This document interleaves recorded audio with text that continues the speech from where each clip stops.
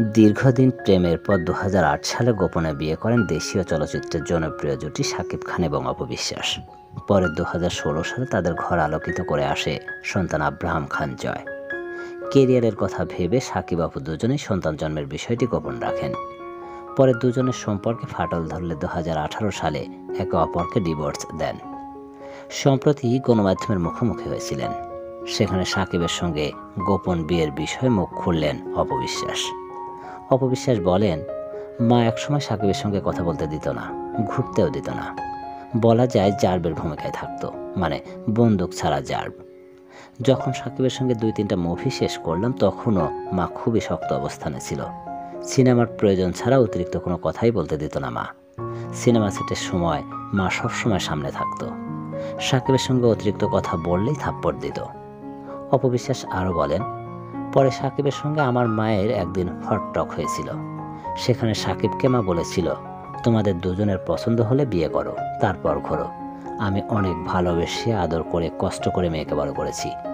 তোমাদের দুজনের মত থাকলে আমাদের কোনো সমস্যা নেই।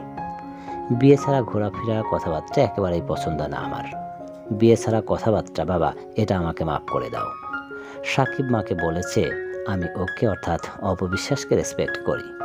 আপনার কথা অবশ্যই রাখব। আমি আপনার কথা রাখার চেষ্টা করব। তারপর সাকিব আমাকে বিয়ের কথা বলল। তখন গোপনে বিয়ে করে ফেলি। বিয়ের সময় আমার বোন এবং কাজিন ছিল। তখন আমি ভেবেছিলাম, মা যেহেতু বলল বিয়ে করলে সাকিবের সঙ্গে কথা বলতে ঘুরতে সমস্যা হবে না, আমি মনে করেছিলাম, বিয়ে করলে অন্তত ঘোরা যাবে, কথা বলা যাবে। মা আর ঝামেলা করবে না। এই ভেবে বিয়ে করে ফেলি। দর্শকদের উদ্দেশ্যে অপবিশ্বাস বলেন, বিয়ে করার আগে অনেক চিন্তা করবেন, আমার মতো কেউ বোকামি করবেন না। বিয়ের পর এত ঝামেলা আমি আগে বুঝিনি।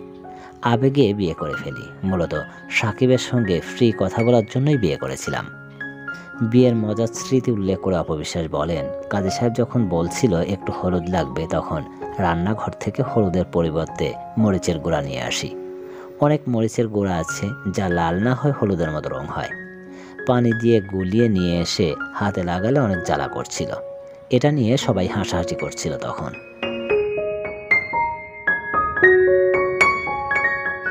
প্রিয় ভিউয়ার্স, আজ এ পর্যন্তই।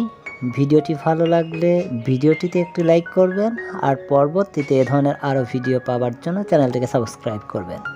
আর যারা পূর্বেই সাবস্ক্রাইব করেছেন, তাদেরকে অসংখ্য ধন্যবাদ।